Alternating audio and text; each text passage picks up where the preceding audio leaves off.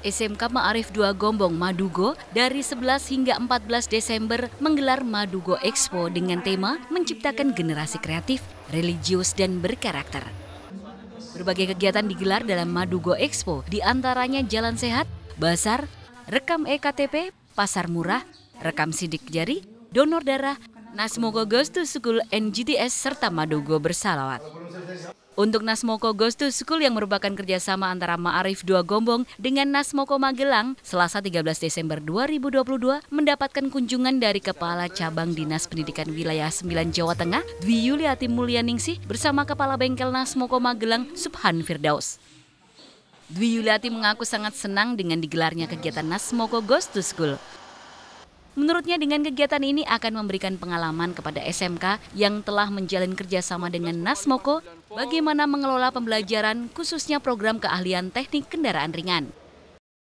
Ini menjadi kesempatan untuk ajang berbagi pengalaman baik dari masing-masing sekolah dalam mengelola pembelajaran khususnya di program keahlian TKRU.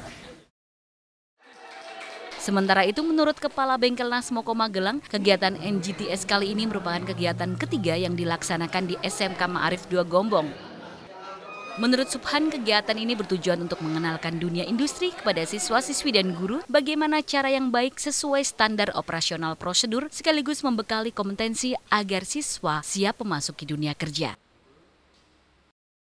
Banyak yang masih menunggu giliran selanjutnya mungkin akan diadakan event-event lanjut tentang Nasmoko School di sekolah-sekolah yang mana tujuannya untuk melatih siswa-siswinya, kemudian guru-gurunya mengedukasi supaya bisa menjalankan tugas dengan baik, mengenalkan dunia pendidikan, dunia industri kepada siswa, bagaimana cara bekerja yang baik, menggunakan alat-alat sesuai dengan standar prosedur yang ada di industri dengan baik dan tentunya ini membekali kompetensi siswa agar siap memasuki dunia kerja dunia yang nyata. Uh, efek dari kegiatan MGTS bagi siswa uh, akan merasa tambah percaya diri karena sudah punya pengalaman melaksanakan, mengerjakan, membantu pekerjaan dari mekanik yang biasanya di kelas hanya melaksanakan uh, simulasi, namun pada saat MGTS ini melaksanakan pekerjaan yang nyata.